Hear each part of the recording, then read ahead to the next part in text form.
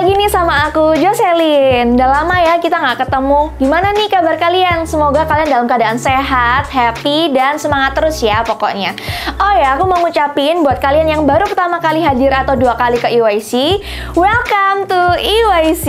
Tak kenal maka tak sayang ya. Jadi kalau kalian baru pertama kali hadir, nanti setelah ibadah kalian bisa langsung ke belakang, ke koridor belakang. Nanti akan ada welcome corner buat kalian. Jadi kita biar semakin deket lagi. Oke, nggak usah lama-lama lagi, langsung aja kita langsung ke pengumuman yang pertama.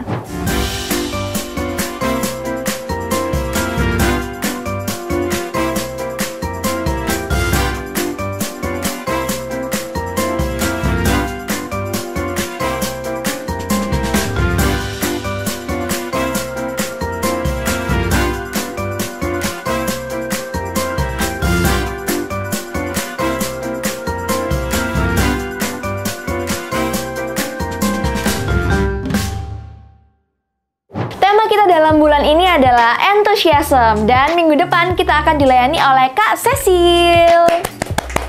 Jadi jangan lupa datang ya, kita akan ada ibadah setiap hari Minggu jam 10.30 siang di Main Hall GPD Elohim Sidoarjo.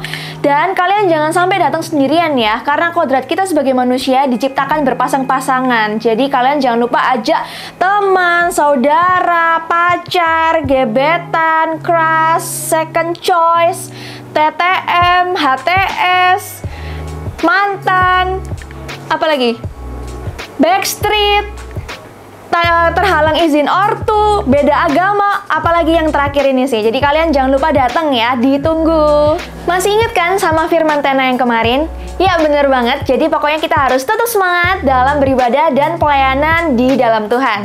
Dan buat kalian yang masih rindu dan ingin lebih lagi hadir dalam kehadiran Tuhan, aku mau ajak kalian yuk join ke Time to Worship setiap hari Kamis jam 7 malam di Main Hall GPD Elohim Sidoarjo. Jangan lupa ya, ajak teman kalian sebanyak-banyaknya. Kalian tau gak sih kalau kita tuh punya episode baru loh di channel YouTube kita, namanya Point of View, di mana pertanyaan kalian akan dijawab oleh pastor ternama kita. Nah, kalau kalian sambil nonton, jangan lupa sambil di like, share, komen, subscribe, dan juga dinyalakan lonceng notifikasinya. Ditunggu ya, jangan lupa share ke teman-teman kalian sebanyak-banyaknya.